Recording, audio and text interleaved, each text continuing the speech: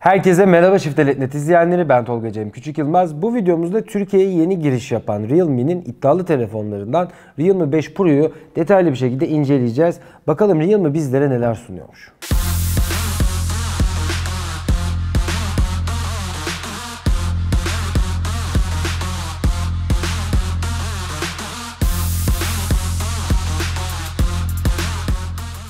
Geçtiğimiz günlerde Realme 5 Pro'nun kutu açılışını Shifteret.net YouTube kanalında yayınlamıştık. O videoyu izlemediyseniz yukarıdaki kartlardan izleyebilirsiniz. Arkadaşlar kutu içeriği gerçekten başarılı yani fiyatına göre başarılı. Ee, en azından ekran koruyucu jelatini ve silikon kılıfı ile beraber Realme 5 Pro'yu satın alabiliyorsunuz kutusundan çıkarttığınızda. ilk başta özellikle Türkiye yeni giriş yapan bir model için bu tarz yanındaki ekipmanlar gerçekten önemli. Çünkü telefonu alır almaz bir kılıf almak istediğinizde belki bulamayacaksınız ama kutunun içinden böyle bir kılıf geliyor olması gerçekten güzel. Realme 5 Pro esasında 1899 TL fiyatla Türkiye'ye giriş yaptı ama İlk 3 günlük olan kampanya biraz daha uzatıldı. 1699 TL'ye de bulabiliyorsunuz. 1899 TL'ye de bulabiliyorsunuz. Ama indirimli avantajlı fiyatı 1699 TL. Bu bittikten sonra telefonun fiyatı 1899 TL olacak. Almayı düşünüyorsanız 1699 TL iken almayı unutmayın. Bu fiyat segmentinde rakiplerine bakacak olduğumuzda en büyük avantajı işlemci ve ekran tarafında karşımıza çıkıyor. Segmentindeki telefonlardan daha iyi bir performans sunuyor. Ayrıca arkada dörtlü kamerası başarılı ekranıyla beraber ya bu telefon hiç 1699 lira 1700 lira demiyorsunuz. Gerçekten işinizi güzel bir şekilde yarıyor. Ben şimdi sözü çok fazla uzatmayacağım. Tasarımla beraber başlayıp telefonun tek tek tüm özelliklerini sizlere anlatacağım. Elimde tutmuş olduğum Realme 5 Pro modeli 6.3 inç ekran büyüklüğüne sahip olan bir model. Hemen kalınlığına bakacak olduğumuzda 8.9 mm kalınlığı görüyoruz. Ağırlık tarafında da 184 gramlık bir ağırlık var. Tek elle rahat bir şekilde tutabiliyorsunuz. Telefon malzeme kalitesi açısından ve tasarım açısından size kendinden daha pahalı bir telefonmuş hissi uyandırıyor. Bu açıdan da beğendim. Telefonun ön camı Gorilla Glass 3 Plus olarak geçiyor.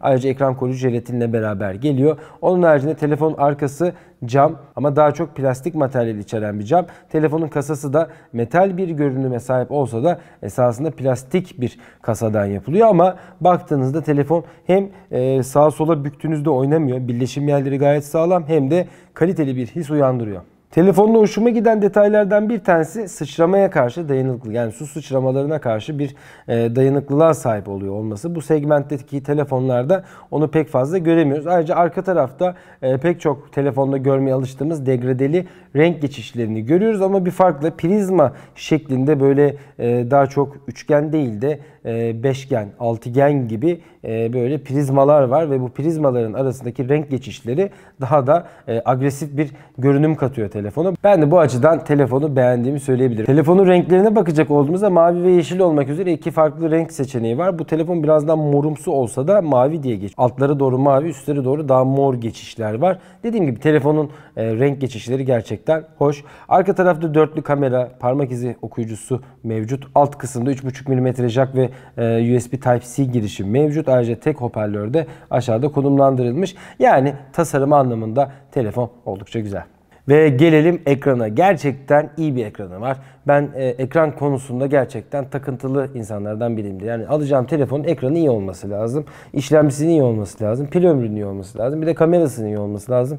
E daha ne kaldı diyecek olursanız tasarım o kadar iyi olmayabilir belki. Hani farklı fiyat segmentine göre arayışlarım değişebilir ama yani ekran sürekli baktığımız bir şey ve ekranın iyi olması gerekiyor. Realme 5 Pro fiyatına göre ekran açısından da gayet başarılı. Telefonda az önce söylediğim gibi 6.3 inç büyüklüğünde damla çentikli IPS tabanlı bir ekran var. Ekran IPS olduğu için ekrandan parmak izi okuyucusu yok. Arka tarafa parmak izi okuyucusu yerleştirilmiş. Telefon Full HD Plus çözünürlükte ve 6.3 inç büyüklükle Full HD ekran çözünürlüğü bir araya getirdiğinizde piksel başına düşen yoğunlukta gayet güzel bir hale gelmiş. Ee, ekran bayağı net ve parlaklık açısından da gayet başarılı. Ekranda 450 nit seviyesinde bir parlaklık var. Telefonda 1080'e 2340 piksel çözünürlük bulunuyor. Ayrıca 409 ppi'de piksel yoğunluğu var. Nereden baksanız 410 ppi seviyesinde bir yoğunluk var ve bu da e, ekran netliği açısından gerçekten başarılı. 450 nit de iddialı bir değer. Hani güneş altında olsun, normal e, günlük hayatta olsun gerçekten ekranını ben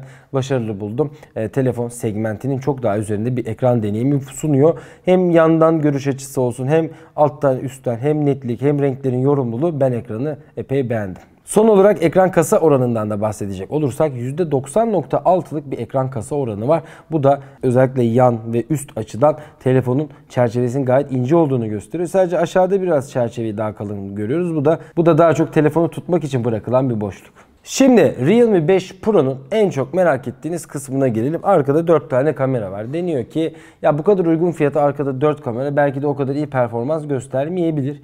Ee, yani bazen böyle düşünüyor olabilirsiniz. Bazı kullanıcılar şunları da söylüyor olabilir ki bazen ben de videolarda ya da normal hayatta soru cevaplarda şu cevapları veriyorum. Yani uygun fiyata böyle bol bol özelliği, bol adetli kamera bazen havuç olabiliyor insanlara. Ee, hani böyle kamera çok da iyi olmasa da sana 4 tane kamera verdim. Gelin beni alın gibi e, pazarlama stratejisi olabiliyor. Ama Realme 5 Pro'nun kamera performansı gerçekten başarılı. Arkada çektiğim fotoğrafları siz de göreceksiniz. E, ben de teknik özellikleri de anlatacağım. Şimdi kameranın özelliklerine baktığımızda gerçekten özellikle gün ışığında inanılmaz çekimler yapabildiğini söyleyebilirim. Bunun da altında yatan kısım sensör. 1 bölü 2 inç büyüklüğünde Sony IMX 586 sensörüyle beraber geliyor ve 48 megapiksel çözünürlük sunuyor. 48 megapikselin avantajını 2x zoom yaparken hissediyorsunuz. Yüksek çözünürlükten zoom yaptığınızda dijital olarak çok fazla kayıp yaşamıyorsunuz. Ama artık 5x yakınlaştırma yaptığınızda burada kayıplar artmaya başlıyor. Bu da doğal tabii ki de. E, dijital 5x zoomla e, kayıplar yaşamaya başlayabilirsiniz. Telefonun normal kendi 48 megapiksel çözünürlüğünde ya da e, 2x yakınlaştırmayla gayet başarılı fotoğraflar çektiğini söyleyebilirim. Telefonun ana kamerası f1.8 diyafram değerine sahip. Bu diyafram değeriyle beraber ayrıca geniş açılı da bir lens deneyim bizlere sunuyor ana kamera. Ana kamerada e, özellikle İstanbul'un güzel yerlerinde dolaşırken oldukça hoş fotoğraflar çektim. Herhangi bir şekilde portre moduna girmeden de yakında bir nesneyi çekmek istediğinizde kamera çok güzel derinlik algılaması yapıyor ve ön plana çıkarttığınız nesneyi gerçekten oldukça net bir şekilde çekiyor. Ayrıca kestane e, fotoğrafından tutun aklınıza gelebilecek, İstanbul'da çekebilecek pek çok noktada gayet güzel fotoğraflar çekebildik. İkinci kamera ise 8 megapiksel çözünürlüğünde ve f2.2 diyafram değerine sahip 13 mm'lik bir lens ile beraber geliyor. Ultra geniş açılı kamera.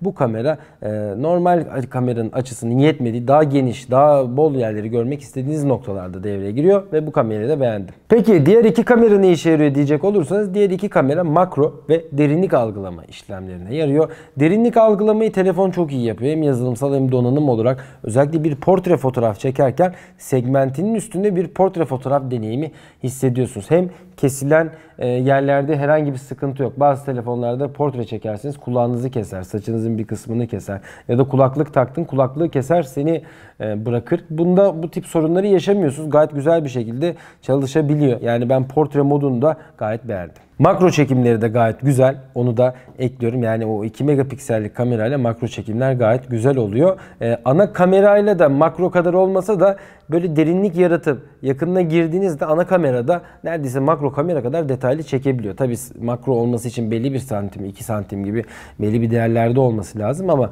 hani arayı biraz açsanız da ana kamera o kadar güzel alan derinliği yapıp odaklanılan nesneyi net bir şekilde çekiyor ki siz gayet güzel bir şekilde fotoğraflarınızı çekebiliyorsunuz. Gece modu da var. Geceleri de gayet güzel fotoğraf çekiyor. Zaten f1.8 diyafram. Amiral gemilerinde bile gördüğümüz bir diyafram. O yüzden ben telefonun fotoğraf anlamında deneyimini fiyatına göre oldukça beğendim. Ve gelelim video tarafına 4K 30 FPS video kaydı var. Şimdi bu fiyat segmentinde 4K video çekebiliyor olması güzel bir detay. E, ayrıca 1080p çözünürlükte 30, 60 ve 120 FPS video kaydı yapabiliyorsunuz. 720p'de ise 960 FPS ağır çekim videolar yapılabiliyor. Ayrıca jiroskopla desteklenmiş ACE var. Böylece video stabilizasyon konusunda da yazılımsal olarak telefon e, güzel bir sabitleme sunuyor. Ön kameraya bakacak olduğumuzda ön tarafta da Full HD çözünürlükte 30 FPS video kaydı yapabiliyorsunuz. Ayrıca HDR ve yapay zeka gibi destekler tıpkı arka kamerada gibi ön kamerada da karşımıza çıkıyor. 16 megapiksel çözünürlüğünde f2.0 diyafram değerine sahip 25 milimetrelik geniş açılı bir ön kamera var. Bu ön kameranın da netliği hem portre çekimlerde hem normal çekimlerde gayet başarılı. Evet kamera kısmını geride bırakıyorum. Çektiğim fotoğraf örneklerinde gördünüz. Yani sosyal medyada da olsun, normal hayatınızda da olsun bir fotoğraf çekip paylaşacaksanız bu telefonla gayet güzel bir şekilde bu paylaşımlarınızı yapabilirsiniz. Çok güzel fotoğraf çekimleri yapabiliyor. Segmentine göre beğendim. Beni tatmin etti açıkçası.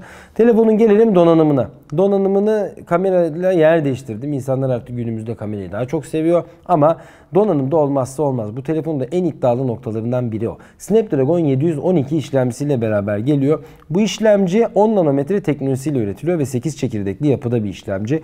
2 çekirdeği 2.3 GHz hızında çalışıyor. Diğer 6 çekirdeği 1.7 GHz hızında çalışıyor. Grafik işlemcisi ise Adreno 616. Adreno 616 ve Snapdragon 712 genel olarak hem yeni nesil bir işlemci yani Qualcomm'un yeni nesil sayılabilecek bir işlemci hem de güçlü bir işlemci. Bu işlemci hem az ısınıyor hem az güç tüketiyor hem de iddialı bir oyun performansı sunuyor. PUBG'de gerçekten beni şaşırtan bir oyun performansı sundu. Snapdragon 665'ler, 675'ler pek çok piyasada e, işlemci var. Bu fiyat segmentinde hatta Mediatek'li olsun e, pek çok hatta kendinden pahalı 2500 lira segmentine kadar bu işlemciler bol bol kullanılıyor hepsinden yerine göre daha performanslı işlemci olduğunu söyleyebilirim. Günlük kullandığınız desteklerde daha iyi. Bazı test sonuçlarında belki geri kalabilir, ileri çıkabilir.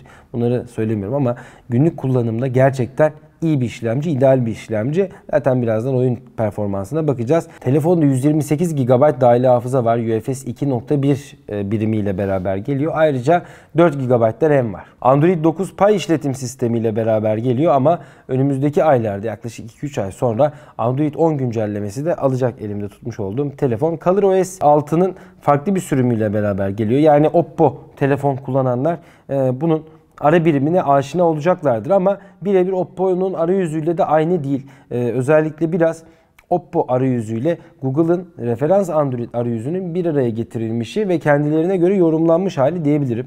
Realme versiyonu seri çalışıyor. Animasyonları oldukça hızlı ve ben renk ayarlarını da gayet beğendim. Ve şimdi gelelim test sonuçlarına arkadaşlar. Dediğim gibi Snapdragon 712'yi beğenirim. Siz de arka tarafta görüyorsunuz oyun oynarken özellikle PUBG'de orta yerlerde gayet akıcı bir deneyim alıyorsunuz ve telefon ısınmıyor.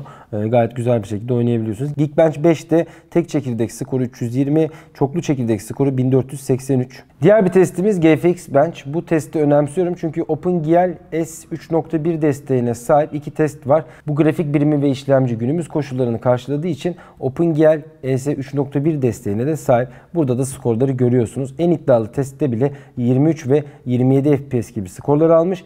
Diğer testlerde ise 33, 37, 58 ve 75 FPS gibi oyun oynatabilir seviyenin üzerinde skorlar almış. Bu işlemcinin tek çekirdek performansı gayet güzel. Ee, Geekbench 4'te tek çekirdek skoruna baktığımızda 1836 e, puan olduğunu görüyoruz. Çoklu çekirdek skoru ise 4714. Batarya tarafına bakacak olduğumuzda bu telefonda 4000 mAh'lik bir batarya var ve test sonuçlarına bakacak olduğumuzda yine Geekbench 4'te yaptığımız testlerde 3270 puan aldığını görüyoruz.